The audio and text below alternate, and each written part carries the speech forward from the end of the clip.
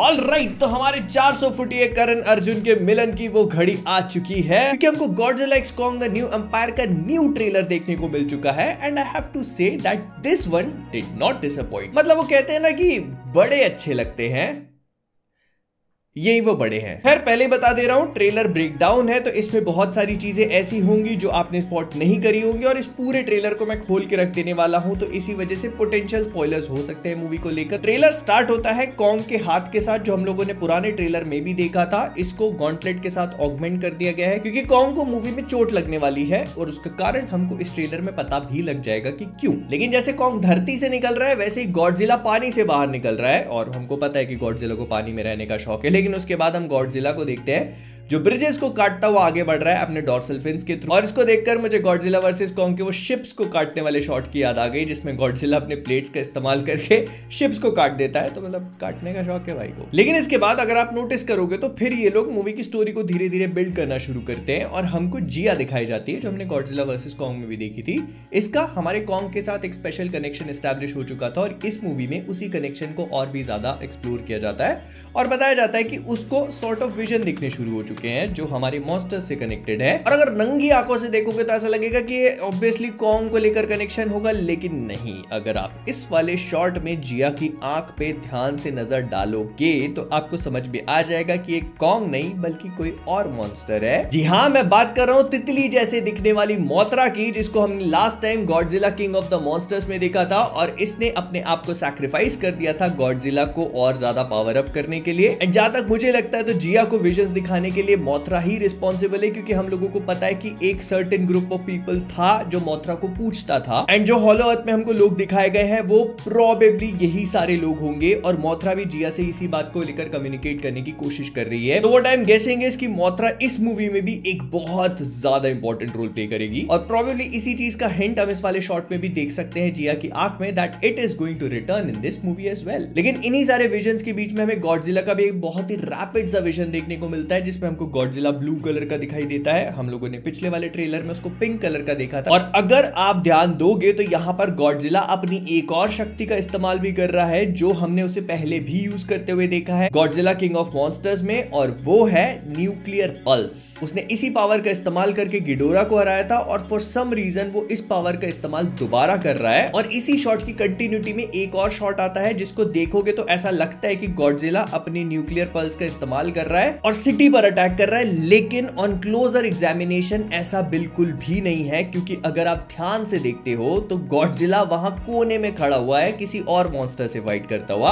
अब ये मॉन्स्टर कौन है? इस पे हम लोग आगे बात करेंगे, क्योंकि वो इस पिक्चर का बहुत इंपॉर्टेंट एस्पेक्ट है। बट अगर गॉडजिला इस अटैक को कर रहा होता तो उसको इसके एपिसेंटर पे होना चाहिए था, जो कि वो नहीं है। अब अगर आप इस फ्रेम को थोड़ा सा और क्लोजली ऑब्ज़र्व करके देखोगे तो गॉडजिला तो कोने में है, लेकिन यहाँ पर बीच में आपको स्कार किंग नज़र आएगा। और अगर आप कॉन्ग को ढूँढने जाओगे तो वो आपको मिलेगा नहीं, क्योंकि कॉन्ग स्कार किंग के नीचे मौजूद है। मतलब स्कार किंग कॉन्ग के ऊपर बैठ के पता नहीं क्या करने की कोशिश कर रहा है।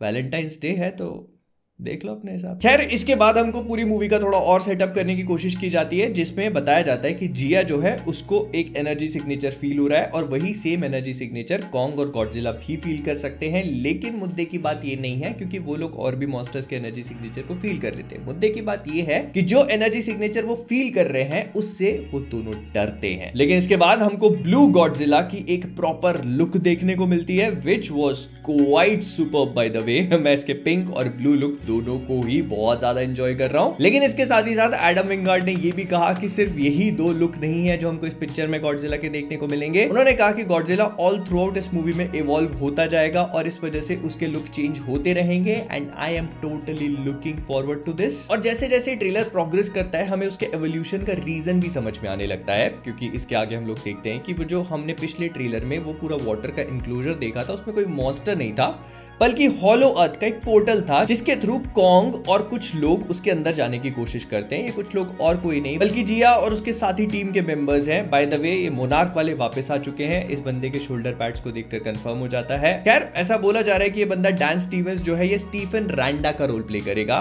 मतलब ये बिल रैंडा से किसी वे में रिलेटेड होगा। अब जिसने भी मोनार्क लेगेसी ऑफ़ मॉन्स्टर्स देखा है, उनको पता होगा कि उसमें रैंडा जी की लेगेसी कितनी ज़्यादा कॉम्प्लिकेट हो गई थी। ये बंदा कहाँ पर फिट होगा? I am really curious to see that after watching legacy of monsters खैर तो ये लोग हॉलो अर्थ तक ट्रैवल करते हैं कॉन्ग के साथ में, जहाँ पर उनकी मुलाकात बेबी कॉन्ग से होती है। फिर कॉन्ग को अपनी एक्स मिलती है, लेकिन इसके साथ ही साथ उनको मिलता है एक हैंड प्रिंट जो बिलोंग करता है स्कार किंग को। उसके बाद ये लोग पहुँच जाते हैं स्कार किंग की गुफा में, जहाँ पर इनको और भी कई सारे एप्स मिलते हैं। ये सारी चीज़ें हमने पुराने वाले ट्रेलर में भी देख ली थी। लेकिन यहाँ पर मैंने एक चीज़ और भी नोटिस करी, अगर आप इस गुफा को थोड़ा भी ध्यान से देखते हो तो वहाँ पर पीछे हमको पिंक कलर का एनर्जी सिग्नेचर भी दिखता है। जो मुझे लगा कि शायद गॉडजिला को जो हमने हाइबरनेट करते हुए देखा था पिंक कलर के पूरे एनर्जी सिग्नेचर के साथ, उससे थोड़ा बहुत मेल जोल खा रहा था। Which kind of does not make sense क्योंकि गॉडजिला स्कार किंग के इतना पास हाइबरनेट क्यों करेगा? बट स्टिल जो मुझे लगा मैंने आपको बताया। तो कॉन्ग जाता है अपने एप्स के पास में, लेकिन वहाँ पर उसकी मुलाकात होती है उनके लीडर स्कार किंग से। अब स्कार किंग अपने आप में एक बहुत ही इंटरेस्टिंग कैरेक्टर है, क्योंकि बस वो दिखता लल्लू पंजू है, लेकिन वो कॉन्ग से ज़्यादा फ्लेक्सिबल है, अपने वेपन को कॉन्ग से ज़्यादा अच्छी तरह से यूज़ कर सकता है।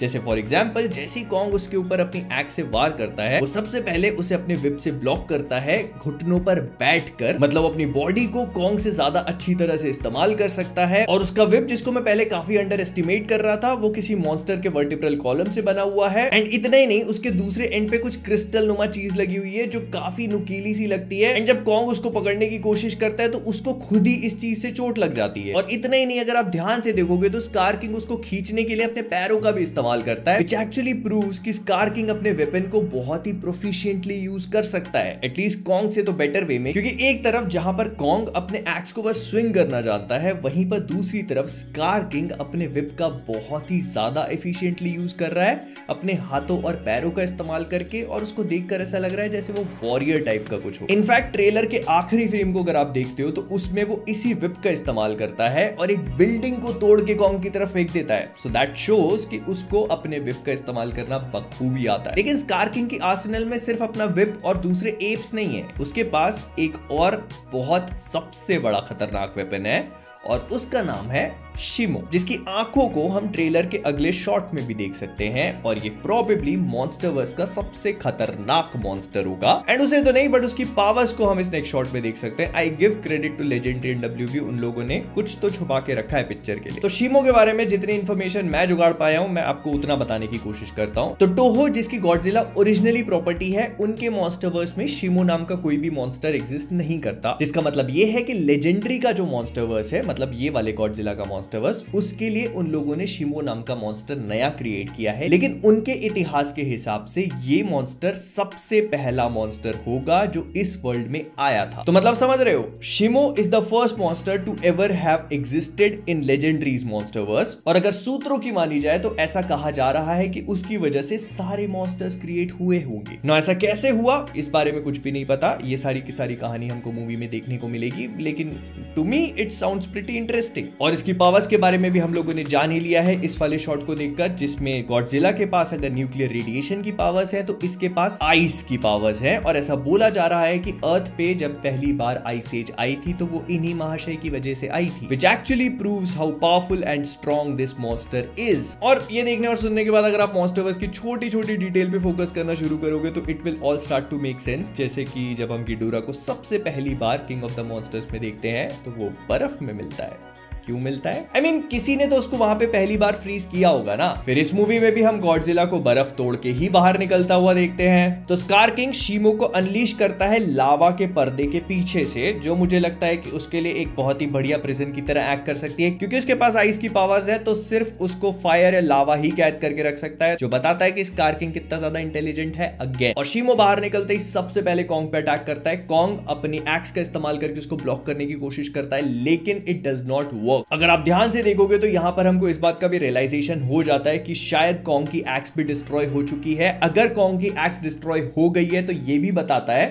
यहाँ पे गॉडजिला की पावर्स भी उसके सामने फेल हो जाएँगी, क्योंकि गॉडजिला का डॉर्सल फिन इस एक्स को पावर कर रहा था। तो probably this is why Godzilla को भी अपने आप को अपग्रेड करने निकलना पड़ेगा, क्योंकि उसके डॉर्सल फिन शेमो की पावर्स के सामने काम नहीं करने वाले, और जैसी गॉडजिला को बात समझ में आएगी, वो निकल पड़ेगा अपना रंग बदलने के लिए। लेकिन इस शॉट को अगर और भी ध्यान से देखते हो तो आपको इस बात का भी रियलाइजेशन होगा कि शीमो की आइस ब्रेथ सिर्फ़ कॉन्ग की एक्स तक नहीं रुक जा रही है, उसके हाथ तक भी पहुँच रही है, जो प्रोबेबली रीजन है उसकी आर्म इंजरी का, जिस वजह से उसको वापस जाना पड़ेगा और वो जो इन्फिनिटी कॉन्ट्रेट टाइप की चीज़ है, वो मिलेगी। तो एक मॉन्स्टर की एक फूक कितना खतरनाक डैमेज करती है, आप अंदाज़ा लगा सकते हो। उसने कॉन्ग के हाथ को तोड़ दिया, उसने गॉडजिला की एक्स को तोड़ दिया। गॉडजिला को भी अपग्रेड कराने जाना पड़ेगा कॉन्ग को भी अपग्रेड कराने जाना पड़ेगा सिर्फ़ एक फूक से। That is some next level shit bro खैर, इसके बाद हमें काफ़ी सारी रैपिड टाइप की सीक्वेंसेस देखने को मिलती है, जिसमें कॉन्ग को अपग्रेड मिल चुका है गॉडजिला पिंक कलर का हो चुका है। इसके बाद गॉडजिला और कॉन्ग का मिलाप होता है, लेकिन for some reason they start fighting again मतलब गॉडजिला पिंक कलर के एटॉमिक ब्रेथ मारता है पिरामिड विरामिड तोड़ देता है। लेकिन फिर एक बहुत ही बढ़िया सा सीन आता है। इसको अगर आप ध्यान से देखते हो तो इसमें स्कार किंग बच्चे कॉन्ग का हाथ पे पकड़ा हुआ है, लेकिन इस बात को देखकर कॉन्ग को बिल्कुल खुशी नहीं होती। वो उचक के आता है और एक सुपरमैन पंच लैंड कराता है स्कार किंग के मुँह पे। इस वजह से कम से कम नहीं नहीं करके 20 फुट का तो उसका दांत होगा, जो उसके मुँह से बाहर निकल के दो बिल्डिंग दूर गिरता है।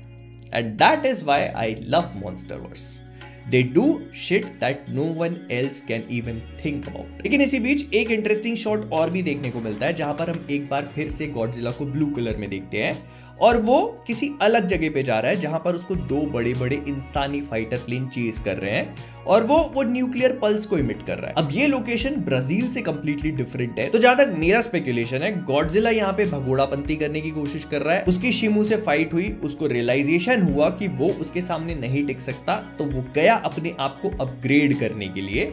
Although I am not completely sure about this लेकिन मैं आपसे जानना चाहता हूँ कि आपको इस पूरी चीज़ के बारे में क्या लगता है। तो इस वीडियो को यहीं पर आप करेंगे। तो जाने से पहले कॉमिक वर्स से मैं हूँ मोहित। वीडियो को लाइक करना, नहीं तो कहूँगा कि तुम्हारा भी दाद